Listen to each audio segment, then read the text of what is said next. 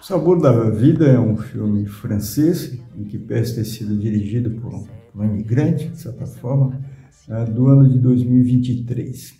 Eu vou deixar ah, na descrição do vídeo ah, um link do IMDB é, para que vocês possam se apropriar de toda a ficha técnica, que é bastante interessante, evidentemente, tem atores muito significativos no filme. É, mas esses detalhes você podem conferir lá, tem trailer, é, tem fotos, tem um pouco da sinopse do filme, é, e acho que vai ser o suficiente para cobrir esse aspecto. Evidentemente, estou falando do filme, porque recomendo a vocês, se tiverem a possibilidade, de assistir a um filme interessantíssimo, em que pese ali suas duas horas e tanto uh, de projeção, e com um elemento facilitador, a meu juízo pelo menos, é o fato de que ele já está disponível na Netflix. Esse filme é muitíssimo interessante sobre uma série enorme de aspectos, inclusive aspectos fílmicos, no sentido próprio, né? Uh, exemplo deles é o protagonismo que a câmera, como dispositivo, tem na construção do, da ambiência desse filme, uma coisa muito legal. Uh, enfim, a direção de fotografia, o modo como, como uh, enfim, a câmera passeia naquele ambiente e vai revelando todo o ecossistema da cozinha, algo de muito legal. É, vou deixar esses, esses elementos, porque inclusive não tem uma formação é, mais significativa do ponto de vista da técnica cinematográfica, é, deixo eles de lado para tratar de um elemento que me parece é, muitíssimo interessante e que, de certo modo, é, dá ao filme é, uma grande potência. quer dizer com vocês, quer dizer o seguinte, esse é um filme contrassistêmico entendido aqui sistema como aquilo que organiza o nosso modo de vida né, contemporâneo, que é um modo de vida fundamentalmente digitalizado, né, e que, portanto, as interações com, com os elementos duros da existência estão, de alguma maneira, relativizados, minorados, né, e a vida toda se passa nessas interações, nessa por meio de interfaces é, digitais. É, Para desenvolver a minha tese, vou pensar um primeiro aspecto, né, que é o modo como uh, o tempo aparece uh, nesse filme. É, e ele é um modo de, de, de, ele tem um modo de ser completamente distinto da nossa experiência mais é, imediata, contemporânea, é, em particular porque é, o tempo está é, em relação com a matéria, né? É, é de alguma forma a matéria que dita o andamento do tempo. E o trabalho da cozinha é absolutamente é, é, categórico, absolutamente é, próprio a essa ideia, porque a ação dos cozinheiros deve respeitar tempos, tempos absolutamente precisos. Primeiro, os tempos que estão do lado da matéria-prima, né? Se a gente imaginar isso está se passando em um momento anterior aqui ao nosso, né? É, há um tempo de produção da, das matérias-primas, né? as estações, a temperatura própria que cada planta se desenvolva, é, a questão da, da produção né, de animais, a criação de animais, né? É, tudo isso já tem uma cadência. E no ambiente da cozinha, que é o ambiente é, essencial do filme, é, o respeito pelos tempos de cocção é, é absolutamente estruturante. E, e, isso é uma coisa muito interessante, é, porque é, demonstra que o tempo surge numa, numa, numa atuação sobre algo que resiste à nossa própria ação, né? Então, de certo modo, é, é, por, por, mais curioso que possa parecer, é, toda atividade tem uma natureza, de certa forma, épica. Né? Ela implica essa ação em relação a alguma coisa que resiste à nossa própria ação e que, de alguma maneira, é, quando se produz, se produz como algo que estava presente como possibilidade é, numa, num determinado material, mas que emerge é, por meio dessa ação concreta uh, do ser humano. Né? Uh, e aqui, só para lembrar, tem uma, uma apreciação clássica sobre, sobre a escultura, no sentido de dizer que a, a, a estátua, a estatuária já está presente no bloco de pedra, né? É uma questão de tirar coisas. E ao se tirar coisas, algo se revela, algo se desvela. E toda a situação do filme, enquanto produção culinária, está uh, implicada com essa ideia. Coisa, uh, segundo aspecto que eu acho muito legal, é esse, é, há um tempo também, muito claramente no filme, da fruição daquilo que foi, foi cozinhado, né? É, daquilo que foi preparado como alimento. A gente, de certa forma, obviamente, não pode ter uma relação direta, sensorial, com, com, com o que foi produzido pelo cozinheiro, pelo par de cozinheiros, né? É, mas tem um elemento que nos conduz, é, é nos conduz assim, é como que se nós estivéssemos de fato apreciando né, os pratos. Né? É, na verdade, são dois elementos, a meu juízo. Ah, o primeiro deles é a cor, né? Ah, e esse aspecto cromático no filme é muito importante, porque é, tudo ali vai ganhando cor, vai ganhando temperatura, de certa forma, né? vai se aquecendo e, e a fumaça, ah, o próprio, coloração dos pratos, o modo como uma carne é apresentada em origem, depois ah, e ela vai sendo ah, cozida até o ponto, cozida, assada, enfim, até o ponto que ela adquire uma coloração que claramente nos lembra uh, o alimento preparado, né? É, é uma coisa muito legal. Uh, dá quase que para a gente sentir, por meio do trabalho cromático, o cheiro do prato, né?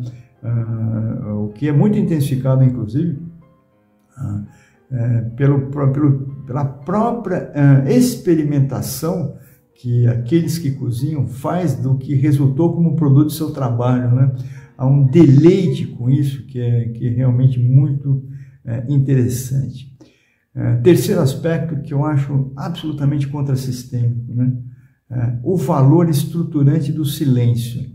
A relação dos, dos cozinheiros, né? a rigor, há quatro personagens implicadas, duas principais e duas coadjuvantes, né? mas elas se comunicam de maneira monossilábica. Uh, e ainda assim estão em interação extrema o tempo todo, mas essa interação está permeada, a rigor, uh, por uma atividade silenciosa. Né? São fundamentalmente uh, instruções de preparo que, que os conecta, de certa forma, e todo o resto é, é algo, alguma coisa que se produz sem a intercessão da palavra, né? da linguagem nesse sentido. É como que um balé que se desenvolve em torno de algo que está sendo produzido. É, isso é contrassistêmico, insisto, né? porque o nosso mundo é um mundo de ruído. A gente precisa se lembrar disso. A gente tem uma espécie de poluição comunicacional, no sentido amplo do termo, né? Ah, digo, uso de redes sociais, enfim, com as interações uh, digitais e virtuais, uh, que tem uma aceleração uh, bastante significativa. Né? A proposta que o filme apresenta, ou ainda aquilo que ele volta a revelar como possibilidade, são as comunicações que se dão em meio ao silêncio, né? e que, portanto, exigem uma percepção espacial temporal, ambiental, a qual nós já nos praticamente nos desacostumamos, né? é, porque, enfim, a gente está inundado o tempo todo de estímulos é, e, portanto, a nossa né, possibilidade de perceber por nós, mesmos aquilo que está no entorno é, vai, vai, vai diminuindo de maneira bastante significativa. É, esse silêncio, diga-se de passagem, ah, é, o, é, o, é o fundamento de qualquer artesania, né? Culinária é uma delas, né? Mas, enfim, é, a escrita, a escritura, a, a, pintura, a composição musical, elas implicam esse, essa qualidade de silêncio que ao qual a gente tem cada vez menos acesso e, portanto, algo que a gente deve procurar produzir, porque em absoluto não é mais algo de natural. Esse elemento do tempo também uh, esse elemento temporal, informa a relação efetiva uh, entre uh, os dois protagonistas do filme. ou seja, primeiro porque eles estão imersos nesse tempo que é um tempo de um fazer que deve respeitar tempos materiais, vamos dizer assim, né? tempos do material sobre o qual a produção se desenvolve. Esse é um primeiro elemento. Segundo, porque eles também são monossilábicos, né? o casal é, falam muito pouco entre si a rigor, mas estão o tempo todo uh, em, em, em, interação. A rigor, a relação deles, é uma relação que é dita de ser mais, de mais de 20 anos cozinhando juntos, essa relação passa por uma espécie de cura, uh, no sentido próprio do termo. Né? Ela, é, ela, é, ela vai sendo, é, de alguma forma, construída e reconstruída o tempo todo, é, vai passando por um processo de depuração que dura esse intervalo é, de mais de 20 anos e eles se enamoram um do outro, né? É, e se enamoram sem que haja qualquer tipo de fusão, isso é muito claro. Daí porque a resistência da, da, da personagem feminina em se casar. Né? É, eles estão juntos, né?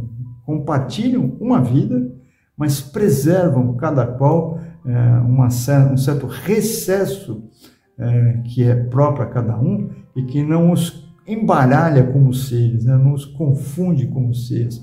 Eles têm uma autonomia e a, essa autonomia é o fundamento do relacionamento que eles estabelecem. É, no contexto ah, desse relacionamento, tem uma frase que é um pensamento de Santo Agostinho, é, que é, o personagem masculino fala quando está refletindo sobre a, sobre a relação que ele mantém com, com a sua parceira de cozinha, a ideia de que a felicidade é continuar gostando, continuar apaixonado por aquilo que já se tem. Né? É, e vejam que, é, que dilema isso representa para o nosso modo de vida, que é fundamentado uh, de maneira muito categórica na novidade. Né? Ou seja, o que ele está propondo é um outro modo de ser feliz é, que não é dessa, dessa avalanche sensorial em que estão implicadas coisas, por exemplo, né? ter cada, cada momento uma coisa diferente, adquirir uma coisa diferente, comprar um carro novo, comprar um telefone novo, é, enfim, é, ter acesso a um novo serviço de streaming, e, enfim, a notícia, a última notícia, a notícia que foi, a notícia que vai. É, ele está propondo alguma coisa de muitíssimo diferente, ou seja, de encontrar prazer em uma certa ordem de suficiência é, de algo que basta, o que se basta, né? É, e por meio dessa, desse é, alentamento da relação, é, encontrar nela uma cumplicidade é, que permite é, um outro tipo, uma outra natureza de prazer, que não esse, por exemplo, da troca sem termo de parceiros, né? que no final das contas, é, é, como toda novidade, à medida que se repete indefinidamente, reinstaura uma certa, um certo grau de mesmice. Né? É, e, portanto, é, essa frase, esse pensamento de Santo Agostinho cabe muitíssimo bem no filme, é, porque, é, e aqui concluo, né? ele propõe uma outra, outra forma de perceber o tempo. Né? A gente percebe hoje o tempo como uma seta em deslocamento, né? em sentido do futuro, e é um tempo, portanto, que nunca volta, né? ele vai continuamente se projetando para algum lugar.